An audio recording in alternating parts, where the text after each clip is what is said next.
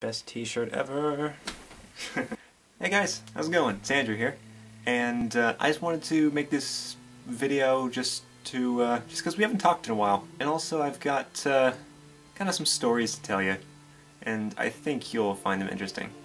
So there's something that I've picked up in the past few months. Uh, since I've been living here in Bradford, I've been part of the uh, uh, Bradford University Gaming Society. Shout out. So something that I've, you know, picked up since I've been here is uh, role-playing. It's something that I've wanted to do for years, but just never really found um, a group of people big enough that I could do it with uh, and consistently. And so, you know, coming here I've been able to do it more consistently and things like that. So it's been really, really fun. I really, really loved it. I wanted to tell you guys um, about my uh, my favorite character that has kind of come out of me um, starting the roleplay. Uh, it is a cleric named Grakkas Shieldheart. So I'll tell you a little bit about Grakkas.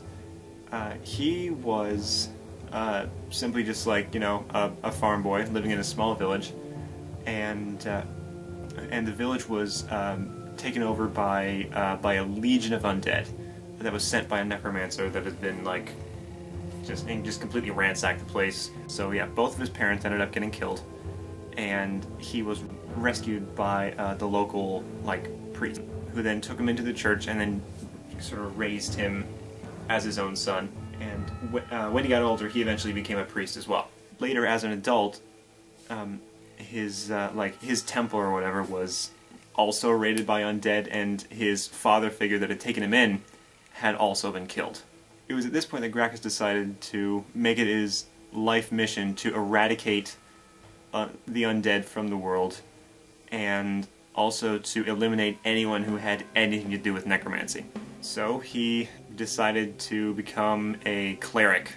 Not only just a priest, but a uh, full-on cleric. He usually wields a, um, a uh, like a spiked mace and a um, and you know uh, a buckler. He wears a um, kind of a, uh, a robe with um, armor armor pieces on it.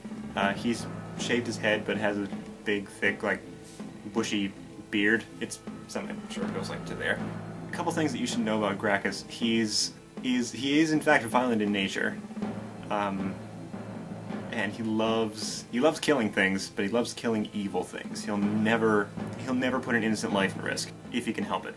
But the thing is, he will completely abandon his own personal safety if it means he gets to kill undead because that's the one thing that he will just completely jump at the chance for at any point that he can get. And that's what this story is about. This story is about when uh, we were playing through a campaign, and I was playing as Grakkas. Um, we had two other people in the party. I think there was like a dwarf uh, tinkerer, and then there was like a like a barbarian warrior. And uh, we were going through this dungeon, and then we got to this got to this door, and the door had a um, a set of uh, iron bars in it uh, and there was like a window that you can look through. And judging by just the door, the door looked like it was about like it was about like a foot thick, and it was pretty um, like it was a formidable door. Uh, that's important for later. So Grakkas, I think I was leading at the time, so I decided I was going to look through through the bars and see, peek in and see what I could see in there. Um, and what Grakkas saw was a boat in this underground like dungeon thing, which I don't know how that makes sense, but it was there uh, being built by skeletons. By like, we couldn't see how many there were, but there were a lot of them in there.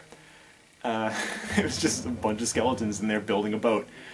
Of course, Grakkas being Grakkas, um, he just got really ticked off. He was really angry. He wasn't going to let anything get in his way of killing those those skeletons, or re-killing the skeletons, because I guess they're technically already dead. Um, so this is what I say to the, this is what I say to the, to the GM at the time. I burst down the door. and remember, this is a this is a door that is like a foot thick of solid oak.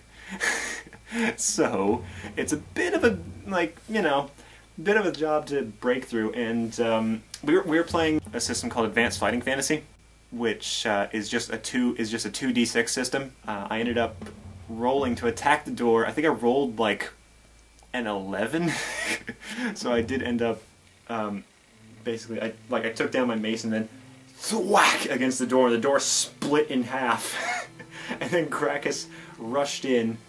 Uh, I think at that point I cast, um, well, I did I did my prayer of uh, smite evil humanoid. That gave me like attack bonuses against the, against the skeletons. And Grakkas rushed in and like, like was just bashing all these skeletons' heads in with his mace. the dwarf behind me.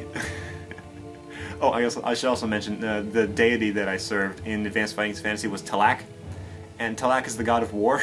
so uh, the dwarf behind me, after I had broken through the door and cut through, I think like six skeletons, uh, the dwarf was like, Talak smash. and that's now since become my uh, my catchphrase. So yeah, um, I ended up yeah carving through like about like six skeletons. There was about twelve in that room.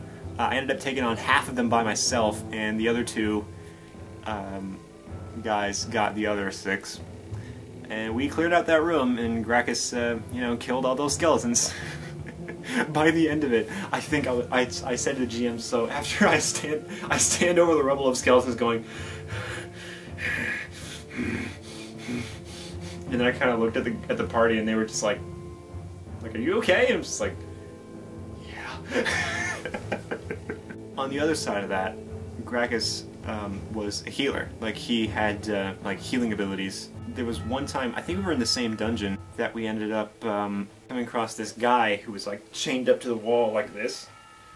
Um, and he looked in bad shape. So uh, natural instinct was to, oh, I've got to, I've got to go over and help this guy. Because remember, he was still a priest. He was still like, you know, in the business of helping people and healing people.